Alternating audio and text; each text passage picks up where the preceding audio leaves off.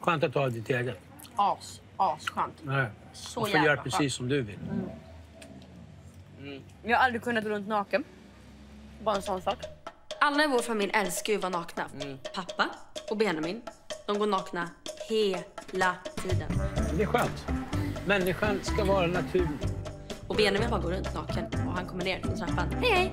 Och så liksom en snopp som dinglar. Och mamma hon går naken från att hon vaknar och så går hon in naken till eh, badrummet. Jag vet inte. Jag tror det. Mormor ska vi inte ens prata om. Hon är naken 24-7. Men jag är inte naken. Jag visar mig inte naken för någon. Jag har ju tuttar, rumpa och kropp. Ska jag gå runt framför min storebror och bara tjena?